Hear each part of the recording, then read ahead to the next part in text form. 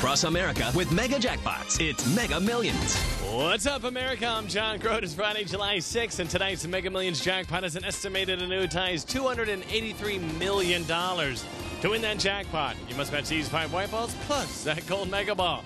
Now, let's see if I can make you a millionaire tonight.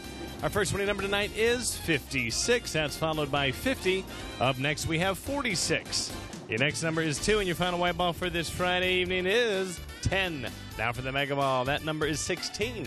Again, tonight's winning numbers are 56, 50, 46, 2, 10, and the gold Mega Ball is 16. Now, if no one matches all six numbers, Tuesday's jackpot could be $306 million. Good luck and play on, America.